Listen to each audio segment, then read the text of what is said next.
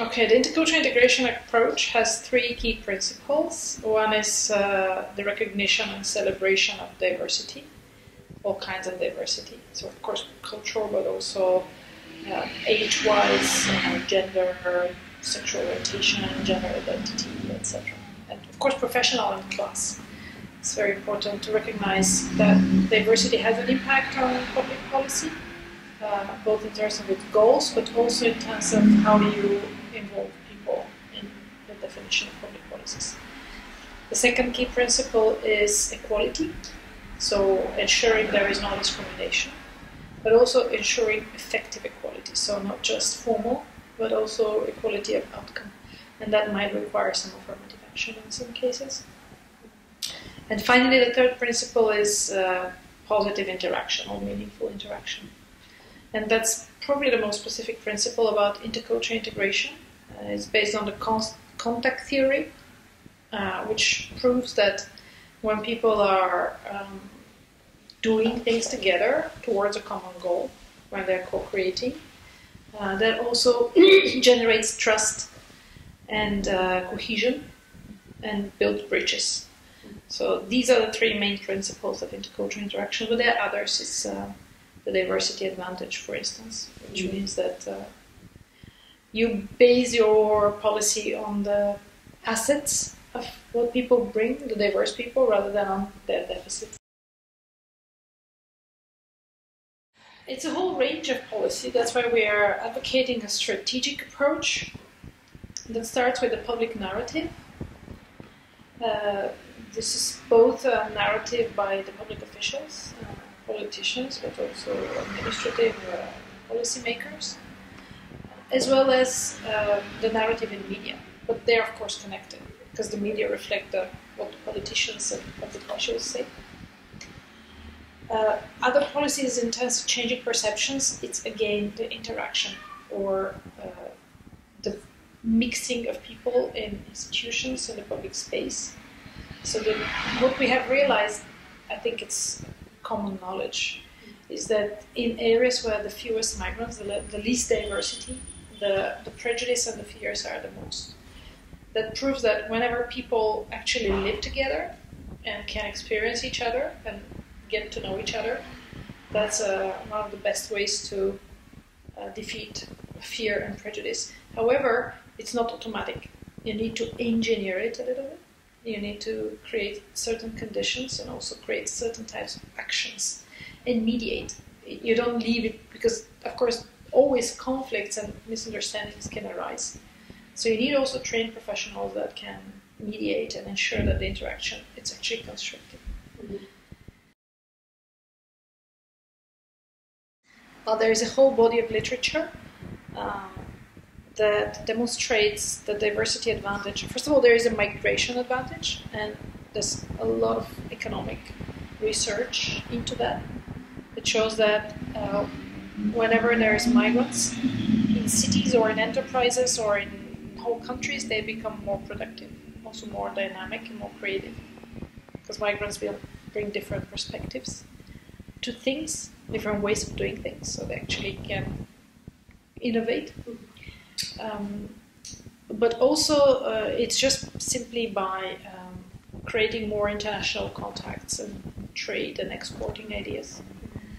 So there's many ways that in which migration enriches societies, but there's also a benefit to diversity itself. So it doesn't only have to be through migration; it could be historic diversity.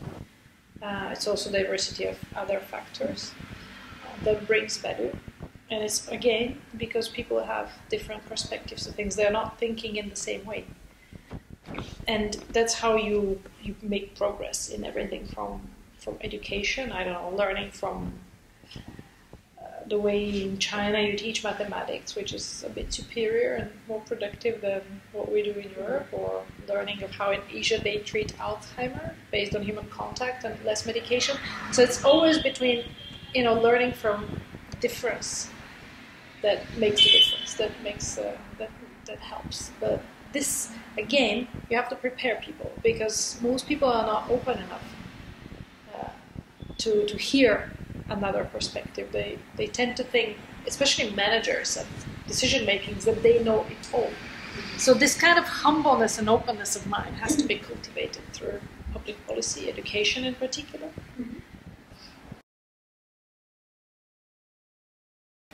In principle, devolution, decentralization of power, it's a good thing in most policy areas.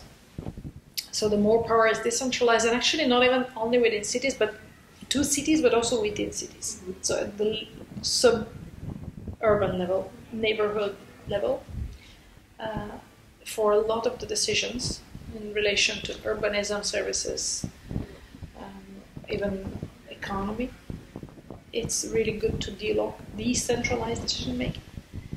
And of course, indeed, cities should have more uh, power to deal with uh, all the areas relating to intercultural policies, and especially so education services, uh, cultural policies, sport, transport, economy, all, all fields are concerned.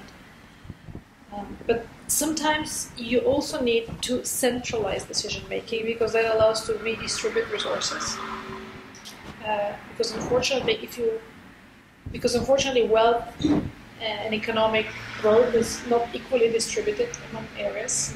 So you also need some more central decision making to make sure that areas are treated equally. So you can redistribute and you can also create the same conditions for all citizens. Otherwise, those who live in luckier or richer areas will be advantaged. So that's not that's not correct the, it's really important also that states take uh, very seriously their their work in terms of safety and ensuring the protection of everybody, as well as uh, having a sound immigration policy.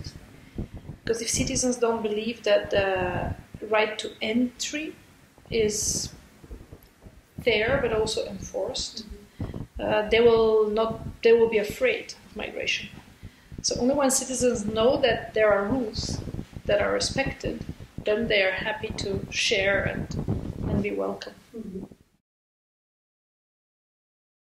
I think the administration has to be really rethought. Nowadays, we're far too much legalistic in terms of public administration and far not enough in, intrapreneurial. Mm-hmm. I really think we should train public administrators to be interpreters, to, to, to take initiative, to independently analyze situations and take initiative. We should apply what is called the commander's intent. So, so far, administrations function really top down, with all decisions taken at the top level. So, the lower levels, where actually work is done, are uh, not empowered. To empower the lower, local, lower levels means to make the strategic decisions at, at upper levels and then let each level of administration decide themselves how to achieve the goals. So, really meaning empowering individual employees to make decisions and to be creative and even take risks. There are some administrations that do that. For instance, in Copenhagen, the Department of Culture, uh, they gave bonus points to employees who um, make mistakes. Because if you make mistake, that means you've taken risks, so you have done something different.